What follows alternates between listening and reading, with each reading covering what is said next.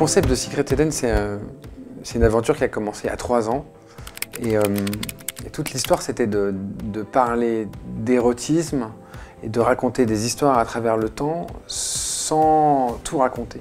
En fait, le principe de cette série, c'est un, un, système de diptyque. Il y a 16 époques, avec 16 diptyques différents.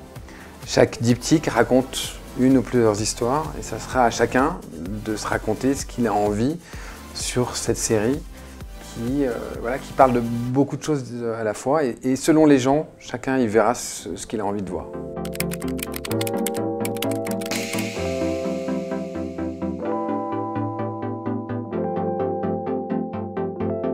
Je viens de remercier les gens avec qui j'avais travaillé. On est plus de 130 sur le projet.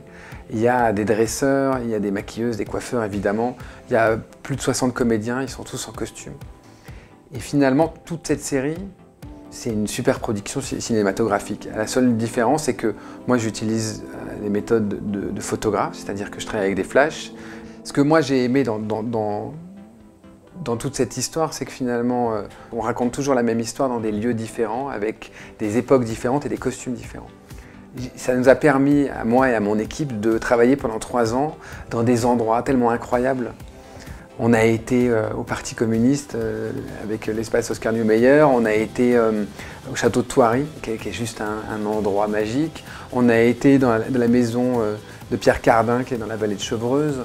Et je pense que cette série, elle, est très différente parce que le, procédé est différent et qu'effectivement, on n'a encore jamais vu ça, mais aussi parce que on est dans des endroits juste magiques. Et à chaque fois, en fait, on cherche d'abord le lieu.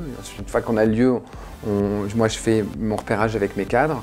Et après, avec les gens avec qui je travaille, donc avec Ben Ben Simon, on essaye de trouver la scénographie et de se raconter une histoire.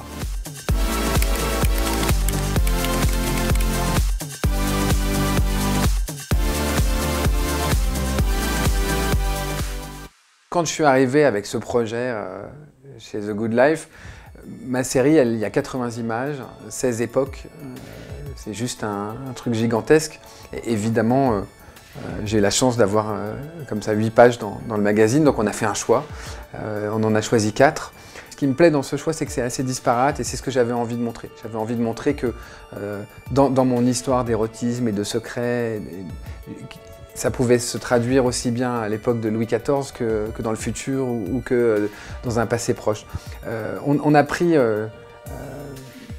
quatre séries, il y en a une que moi j'aime particulièrement qui est celle de, qui s'appelle Red Line, qui se situe euh, juste après la Deuxième Guerre mondiale. Et c'est une, histoire entre euh, les Soviétiques et les Américains, une histoire improbable.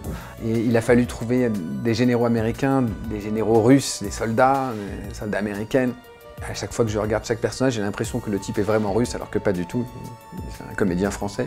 Mais, mais, ils ont tous un rôle et ils sont tous possédés par leur, euh, par leur personnage. Et dans les photos, on le sent bien.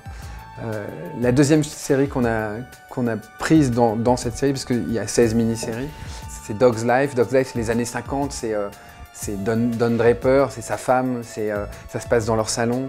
Mais c'était pareil, on voit les personnages se construire, c'est un peu comme, comme dans un film. La jeune femme qui joue le personnage, elle est, elle est juste sublime elle est tellement bien dans son rôle. La troisième série qu'on a choisie, c'est elle s'appelle Eve, 3882. Euh, c'est un monde futuriste, comme ça, un peu rétro-futur, dans lequel il y a des clones, ils sont un peu tous pareils. Et on a shooté ça sous le dôme. Et le dôme, c'est juste un des plus beaux endroits euh, du Parti communiste. Après, l'image, euh, ça m'a pris beaucoup de temps parce que, évidemment, c'est compliqué de trouver une trentaine de personnes qui sont frères et sœurs jumeaux. Donc il a fallu qu'on travaille là-dessus. Et, le résultat est au-dessus de, au -dessus de mes expériences. et puis la dernière, alors c'est un choix un peu différent, mais j'aime bien. C'est la planète des singes. Mais c'est la planète des singes, en fait, euh, version 70. C'est-à-dire que euh, moi, ce que j'aime dans la planète des singes version 70, c'est que c'est pas parfait. C'est que les singes, euh, on sent qu'ils ont des masques. on y croit, mais, quand même, il y a un petit côté un peu rétro et un peu vintage. Et donc, j'ai essayé de retrouver dans, cette série-là ce côté rétro vintage. Donc on a fabriqué des masques, on a euh, fait beaucoup de maquillage, créé des costumes. Euh, les jeunes femmes qui ont posé, euh, était juste incroyable.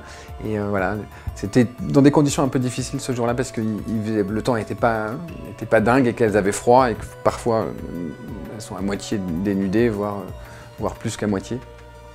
Mais, mais, le résultat, il est assez étonnant. Il est assez, assez étonnant. Voilà, ça c'est les, quatre, les, quatre qui ont été choisis et qui, pour moi, sont assez fortes parce qu'elles montrent des choses complètement différentes. Voilà, après, il y en avait encore beaucoup d'autres, mais ça, il faudra venir à la galerie pour les découvrir.